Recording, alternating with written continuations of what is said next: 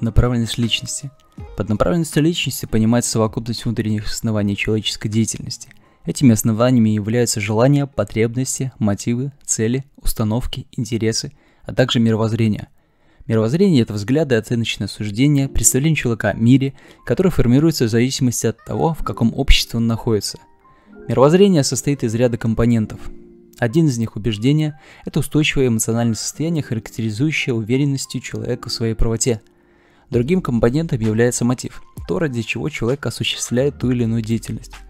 Реальной причиной познавательной деятельности человека является интерес, а готовность совершать действия для достижения цели – установка. Мировоззрение зависит от жизненного опыта человека и формируется на основе мироощущения и мировосприятия, компонентов, которые включают эмоции, чувства и образы о мире, а также миропонимание, компоненты знаний, убеждений и ценностей. Мировоззрение бывает двух типов базирующее на систематизированных взглядах. Как правило, это научное, религиозное и философское мировоззрение.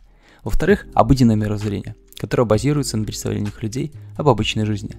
Оно зависит от личностного опыта. Если человек часто переживал негативный опыт в своих начинаниях, у него формируется отрицательный или пессимистический взгляд на жизнь. В противоположном случае положительный или оптимистический. Каждый человек на протяжении всей жизни задается различными вопросами об окружающем мире и о своем месте в нем – так, одним из сложнейших вопросов философии является проблема смысла жизни, которую каждый разгадывает в соответствии со своими ценностями и идеалами.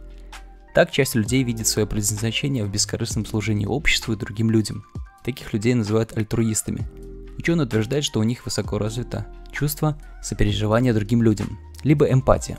Противовес альтруистам выступают эгоисты, люди, которые стремятся совершать какие-либо действия ради собственной выгоды и вопреки интересам других людей – Таким образом, мы с вами выяснили, что направленность личности заключается во внутренних основаниях человеческой деятельности, таких как установки, мотивы, убеждения, ценности и мировоззрение. Формирование мировоззрения происходит на основе жизненного опыта. Негативный опыт конвертируется в пессимизм, положительный – в оптимизм. Проблема смысла жизни раскрывается у каждого человека индивидуально. Альтруисты видят смысл жизни в бескорыстных действиях в отношении других людей, а эгоисты в совершении выгодных для себя поступков без учета интереса других –